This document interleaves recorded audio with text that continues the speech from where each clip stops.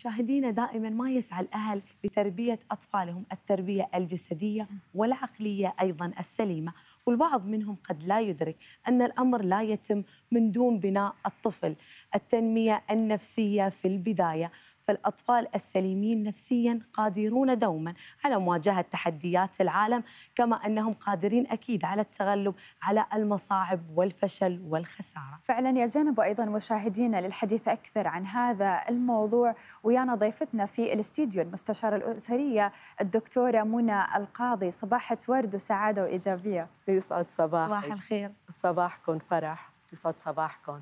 صباحك يا رب. دكتورة منى يعني الآباء دائما يعني مع مقدمة زينب عن هذا الموضوع الآباء نعم. حريصين دوما على تربية وتنشئة الأبناء العقلية والجسدية وإن يكون الأطفال هذيل متوازنين ولكن ماذا يتطلب هذا الموضوع من الأهل اتجاه الطفل في التربية؟ أه أوكي اسمحوا لي بس قبل ما أبتدي أه بحب أتوجه بالتهنئة لدولة الإمارات أه بالعيد الوطني 49 وعلى السريع هيك رسالة شكر عرفان وامتنان للقيادة آه، باحترامها للإنسان ولهالشعب اللي نهجه تسامح. آه، ومن هون كمان نرجع ننطلق نحكي عن تربية الأطفال وعن أهمية التربية في بناء الأسرة. صحيح. آه، اليوم الطفل تكوين التكوين النفسي للطفل يبتدي من هو وجنين.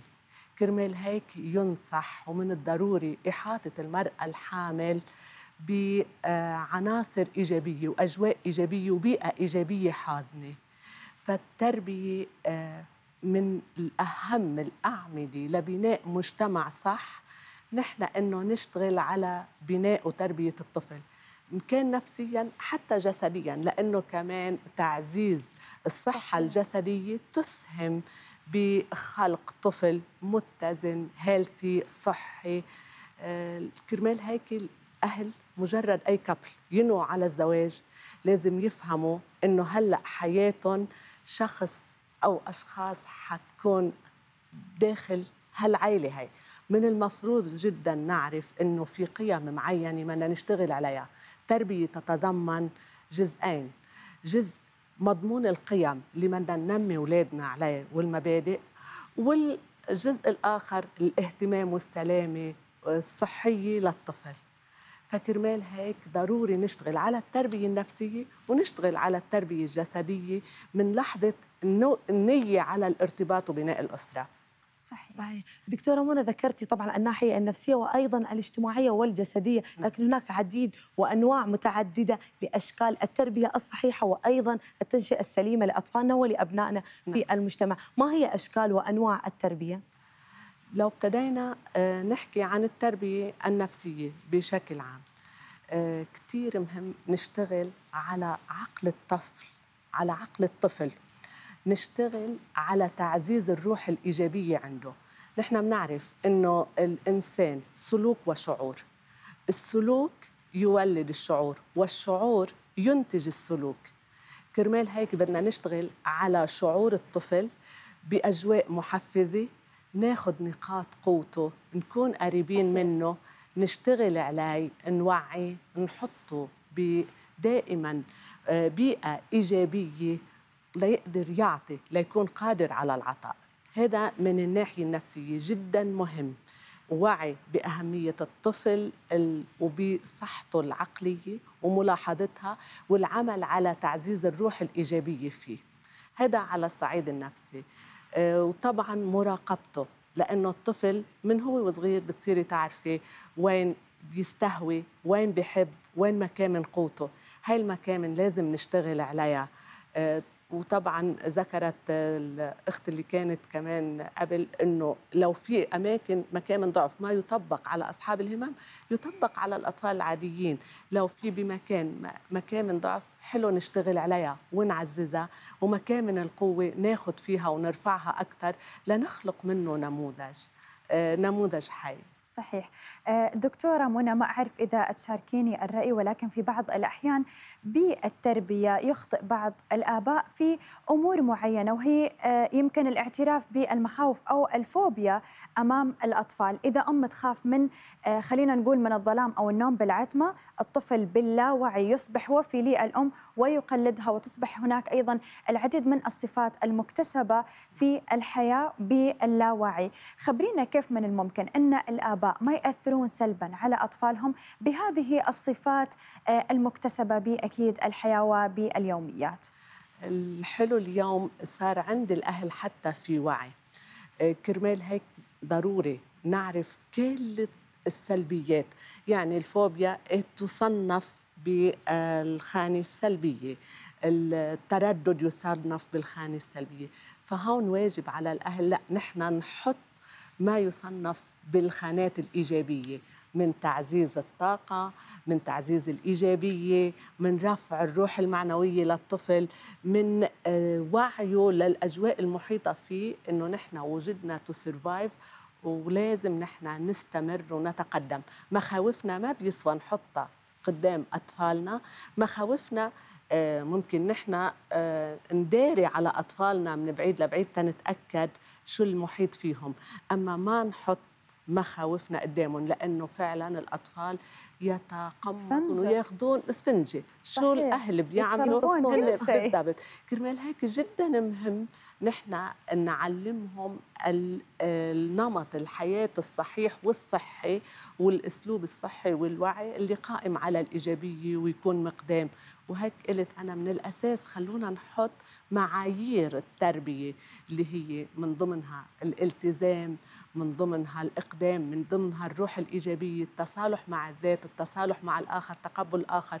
صفات لازم نغرسها بأطفالنا من نطبقها نحن. صحيح. ليطلعوا متصالحين مع ذاتهم ومع مجتمعهم. صحيح. طبعا دكتورة منى أكيد لا تخلو التربية سواء من الأب أو الأم من الأخطاء وهناك العديد من المعتقدات أو نقدر نقول الأشياء الخاطئة اللي ممكن يمارسها الأب أو الأم في تربية أبنائهم. ما هي أكثر الخرافات أو المعتقدات الخاطئة اللي لازم الآباء يبتعدون عنها كليا أو جزئيا من خلال تربيتهم لأبنائهم؟ في نحن بمعتقد ب... بديش بالمت... بعاداتنا بنجي نخوف الطفل. هذا بياخدك. هذا آه، بيطلع لك الغول بيطلع لك البعبع. هاي الأشياء مفروض ما تكون موجودة خالص بقاموس الأطفال. نحن الطفل على قدرة من الوعي حتى شخصيته تتشكل كلها أو بالسنوات الأولى من عمره. آه، نحن بنحط قدامه مخاطر الحياة بس بواقعية. يعني نحن نحكي مع الطفل إنه أنت إذا طلعت وتعرضت لطفل لشخص غريب ما بتعرفه هيدا مش كثير صحي هيدا مش صحي مش لازم إلا بوجود أهلك لتعرف مين هالشخص. بس مش مش بجيب له أوعى تطلع لبرا بده يجي يخطفك كذا. هاي من المف... من التقاليد اللي يتوارثونها الأهل خوفا على الأولاد بس هاي لازم تلغى لأنه هيدي بتعطي الولد شك وبشكل ما بتعلمه الكذب. ليه لأنه ما في غول رح يكتشف إنه ما في غول. ولا فهذه مجرد يعني خرافات. بالضبط مجرد خرافات. آه، بيسوى نحن نصارح أطفالنا بالمخاطر اللي بت موجودة من دون ما نحط لهم هي بتشكيلة مرعبة تخليهم مترددين. فهذه من الشغلات اللي مفروض مثلا نتلافاها صحيح. آه، دكتورة منى يعني العديد من الأشخاص اليوم قبل خلينا نقول التفكير بالإنجاب أو في بعض الأحيان التفكير بالزواج يحاولون الذهاب لمستشارين أسريين أو لايف كوتش لعلاج بعض الأمور عندهم لأن طبيعة الإنسان بالأساس الله خلقنا كأسفنجة وأيضا في بعض الأحيان سهل نكتسب بعض المخاوف أو بعض الأمور بعض الصعوبات ممكن أنها تواجهنا ممكن أن نحن تؤثر سلبا على حياتنا. ما أهمية خلينا نقول آه، اليوم تهيئة الأم اللي هي مخررة الإنجاب أن هي تتعلم أكثر تعرف تفاصيل أكثر عن الأم. آه، شو واجباتها وشو مهامها اتجاه الأبناء؟ اليوم التربية تحدياتها كثير كبيرة. يعني إذا بتلاحظي كل اللي تفضلتي وقلتي هي مفاهيم حديثة دخلت مجتمعاتنا حديثا مع العولمة ومع انفتاح المجتمعات. إذا بتشوفي قبل الأوائل آه، أوليائنا وأجدادنا ربوا عائلات جدا ملتزمه وجدا صحيح. قائمه بالفطرة على القيم يعني. بالفطرة صحيح لأنه كانت القيمة اللي بدك تعطيها لأولادك محصورة فيكي بالأم بالبي بالجد بالجدة بأهل الحارة وكلهم يتجانسون ويتطابقون على قيم وحدة صحيح. اليوم العصر مختلف العصر منفتح جدا مع دخول ال social media على قلب كل بيت حتى الطفل مش بعيد عن ال social media روافد العلم ما بقت محدودة فقط بما نحن نلقن ولدنا. صارت روافد العلم كثير كبيرة حتى المعلومات إلنا نحن ككبار وبالغين تعددت.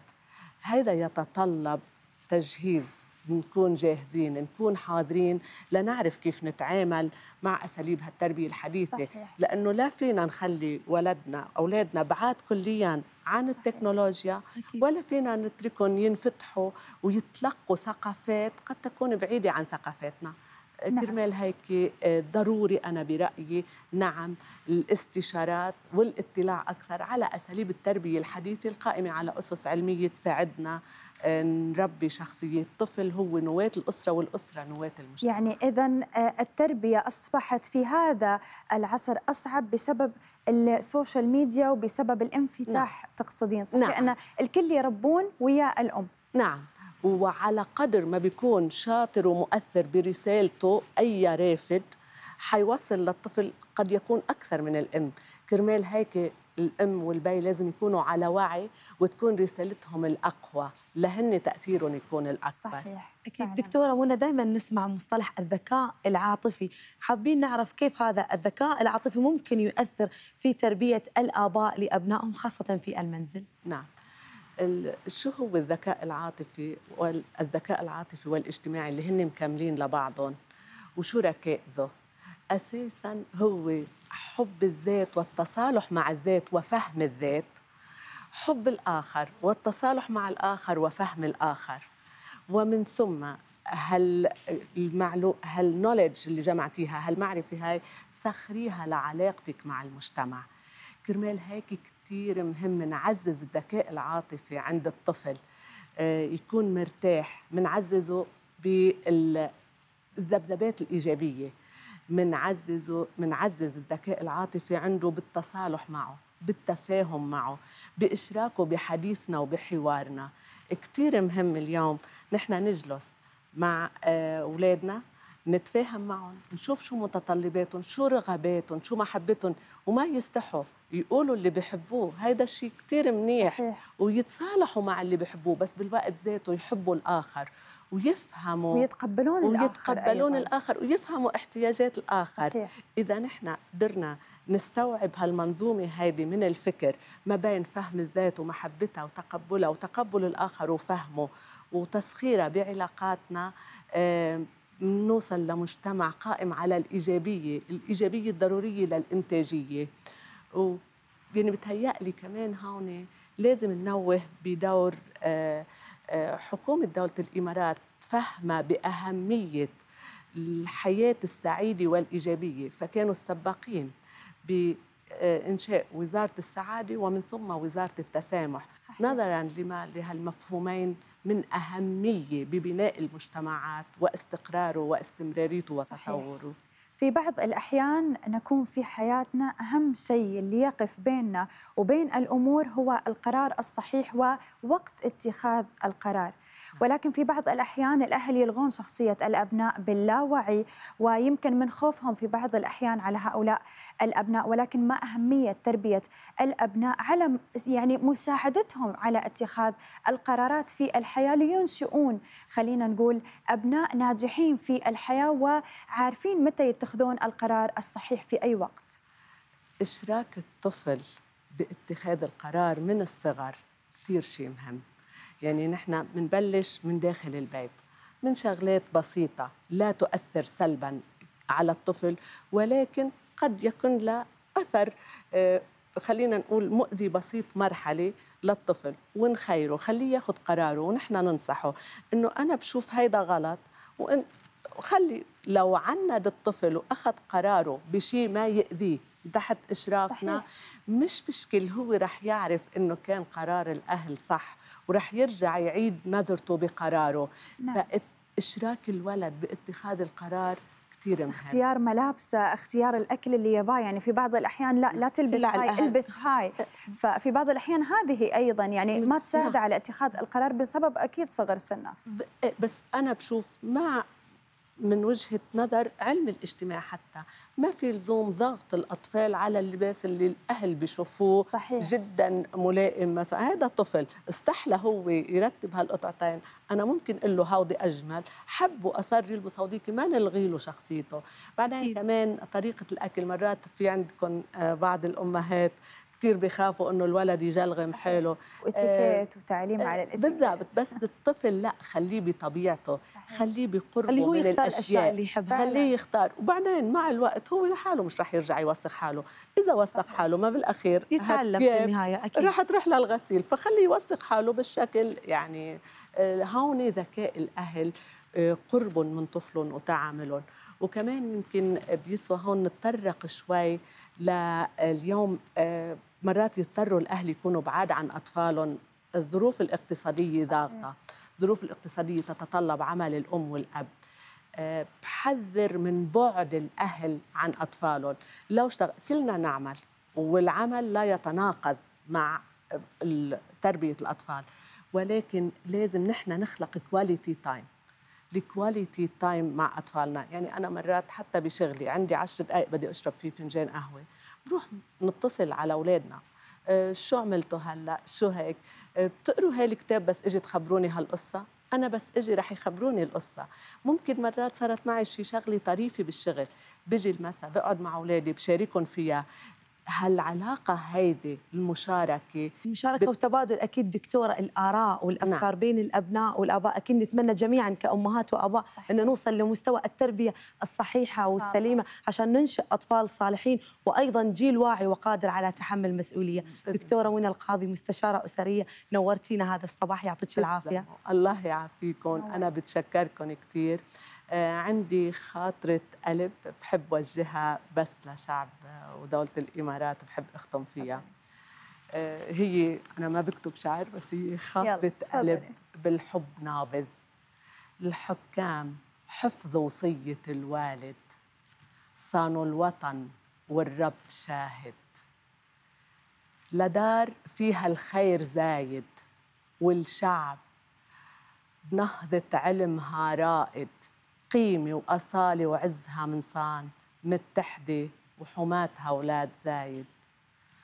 مشرقة مكللة ومتوجة بالغار بحكمة حكامها وحنكة الراشد. وفيها الكرامة معانقة الإنسان وبنيانها صوب السما شايد. جاية بقلب بالحب مليان حتى بعرس المكرمة عايد. يا شعب كل الكون بيجله ويا أرض فيك الخير عاحله وفيك الخليفة من خيرة الأخيار. يلي الوطن محمي تحت ظله حكمة وعدالة شيمة الأحرار. حكمة وعدالة شيمة الأحرار وسيف المروءة على الحقد سلو شرطة وجيش من صفوة الأبرار فوق المجد خلقه ليتعلوا محمد بن زايد يا صقر يا مغوار قلبك شجاعة هالكون كله. انت القائد يلي تاريخك غار. انت الصقر بعيون تقدح نار. انت البطل وانت حامي الدار واللي عادي الوطن يا دله. عمار يا إمارات. صح لسانك. وصح بوحك ويعطيك ألف عافية. وأنا برأيي مع المستشارة الأسرية دكتور المفروض تكتبين شعر لأن عبرتي بطريقة صح يعني وجميلة جدا. بشكركم. هي يعطيك العافية خاطره دكتورة. من القلب لهالدوله. اللي أفضلت علينا. يعطيك العافية دكتورة. تسلم.